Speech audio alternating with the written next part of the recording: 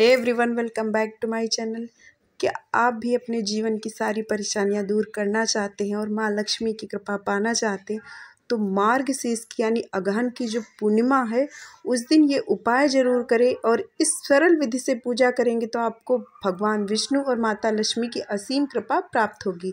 तो जान लेते हैं ये पूर्णिमा कब से कब तक है, क्या करना है, कौन सी विधि से पूजा करना है और कौन से आपको खास उपाय करने हैं? इस पूर्णिमा को आपको जो भी आप काम करेंगे, उसको बत्तीस गुना फल मिलेगा। तो इस दिन आप ज़रूर पूजा करें।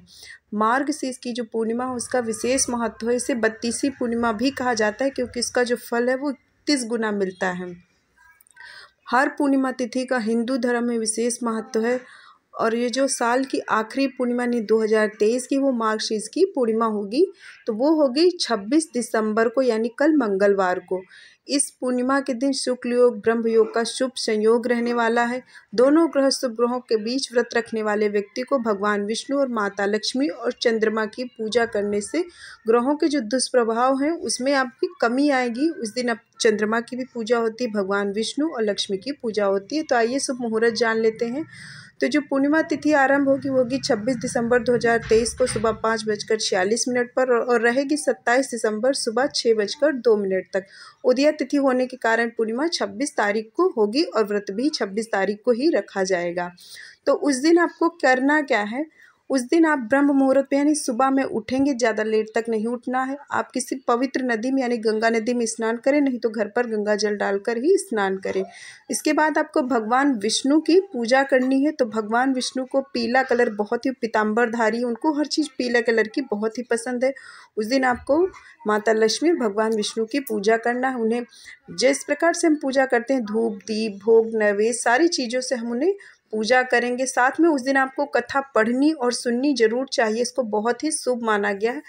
भगवान विष्णु के साथ आपको लक्ष्मी माता की कृपा अवश्य मिलेगी। इस दिन लक्ष्मी नारायण की विधिवत पूजा करने से घर में खुशहाली और सुख संपत्ति बनी रहती है। क्योंकि इस दिन आप जो भी काम करेंगे, उसको आपको इकतीस गुना इस दिन आप ज़रूर अपनी, ज़रूर काम करें, ज़रूर पूथा, पूजा करें, कथा सुने कथा को पढ़ें, क्योंकि इस दिन आप जो भी काम करेंगे, उसको आपको इकतीस बत्तीस गुना आपको फल मिलने वाला है तो आप ज़रूर करें। ना व्रत रखें तो आप पूजा ज़रूर करें या कथा सुने ज़रूर उस दिन।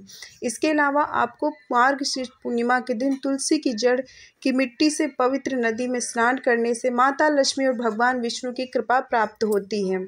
इस दिन किए गए दान बाकी पूर्णिमा की तुलना में बत्तीस गुना अधिक फलदायी होता है, इसीलिए इसे बत्तीसी पूर्णिमा भी कहा जाता है। तो आइए जान लेते हैं, बहुत ही सरल पूजा विधि मार्ग शीर्ष पूर्णिमा के दिन सुबह उठकर भगवान का ध्यान करें और व्रत का संकल्प लें। अगर आप व्रत करना चाहते हैं तो। उसके बाद आप वस्त्र धारण करें, आचमन करें, यानी बाकायदा आप जैसे पूजा करते हैं, उसके लिए आप चौकी बिठाएँ, भगवान विष्णु, माता लक्ष्मी को स्थापित करें और अब ओम नमो नारायण कहकर श्री भगवान विष्णु को आवाहन करें। इसके बाद श्री हरि को आसन, गंध, पुष्प, दीप, धूप, फूल आदि समर्पित करें। पूजा स्थल पर वेदी बनाए, हवन के लिए उसमें अग्नि जलाएँ। बाद में सारा कुछ पूजा करने के बाद आप भोग वगैरह लगाने के बाद हवन करें, उसमें तेल की भूरा आदि से हवन में आहुति दें। आपको छोटा हवन ज़रूर करना चाहिए किसी भी पूजा में। उसके बाद आपको हवन समाप्त होने के बाद सच्चे भग, मन से भगवान का ध्यान करें, उनसे क्षमा याचना करें, उनके सामने अपनी मनोकामनाएँ पूर्ण करने के लिए प्रार्थना करें। व्रत के दिन आप दान ज़रूर करना चाहिए, हो सके जितनी सामर्थ्य हो, किसी को खाना खिलाएँ या उनको ज़रूरतमंद को थोड़ा बहुत जितना हो सके दान दक्षिणा ज़रूर करें। इसके बाद आपको खास उपाय उस दिन ज़रूर करने चाहिए पूर्णिमा के दिन। तो उस दिन खास उपाय आपको ये रहेगा कि उस दिन आपको पीले जो मीठे चावल होते इससे यानी खीर बनाकर आप विष्णु जी को भोग लगाइए। माँ लक्ष्मी को आप भोग लगाइए। उनको खीर बहुत ही प्रिय है। तो इससे क्या है, आपको माँ लक्ष्मी की असीम कृपा प्राप्त होगी। आपकी जो आर्थिक परेशानियाँ दूर होगी और इस दिन मानसिक शांति के लिए आप पूर्णिमा के दिन जल में चावल डालकर चंद्रमा को दूध के साथ अर्घ ज़रूर दे। साथ ही शिव जी को भी आप ज़रूर चढ़ाएँ। तो इस सब खास उपाय हैं जो आपको मार्ग शीर्ष पूर्णिमा के दिन ज़रूर करनी चाहिए ताकि आपको असीम यहाँ पर कृपा प्राप्त हो। तो आप धन की कृपा प्राप्त हो, इसके लिए ये चावल का आप खीर बनाकर माता लक्ष्मी को भोग लगाएँ। चंद्रमा को आपने अर्घ में डालकर, जल में चावल डालकर अर्घ दें। इससे आपको माता लक्ष्मी की असीम कृपा होगी। अगर ये आप उपाय करेंगे तो इससे आपको फ़ायदा मिलेगा। वैसे तो हर पूर्णिमा पर चंद्रमा को अर्घ देना बहुत ही शुभ होता है और भगवान विष्णु नारायण की पूजा करना, लेकिन इस दिन आप जो भी काम करेंगे, आपको पता है उसका गिन बत्तीस गुना आपको फल मिलने वाला है तो इस दिन ज़रूर करें। साथ में आप शिव जी को भी एक मुट्ठी अक्षत अर्पित करें। इसके साथ आर्थिक संकट दूर होगा और शिव जी आपकी पूजा से शिव जी की अगर आप पूजा करते हैं तो शनि भगवान भी प्रसन्न होते हैं।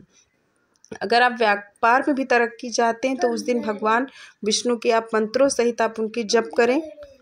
साथ ही माँ लक्ष्मी का जो मंत्र है उसको आप बार बार जप करेंगे तो इससे भी आपको अगर व्यापार में आपके मंदी आ रखी है तो आपको ज़रूर होगी।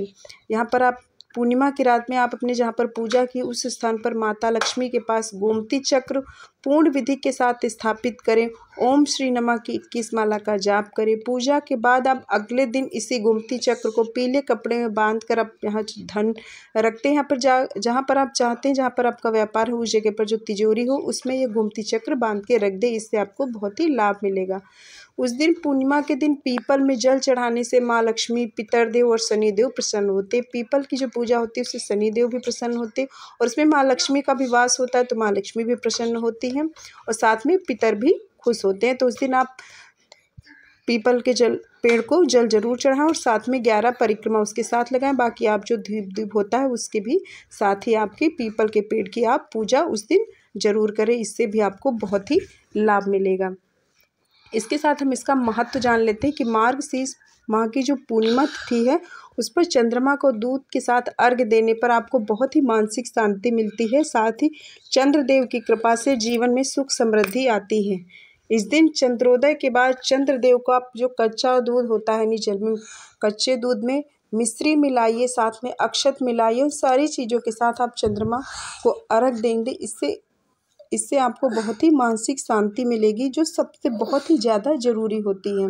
तो आप ऐसा ज़रूर करें। मान्यता है कि ऐसा करने से सभी कष्ट दूर होते हैं और धन संपत्ति में वृद्धि होती है। तो उस दिन आप पीपल के पेड़ की पूजा ज़रूर करें।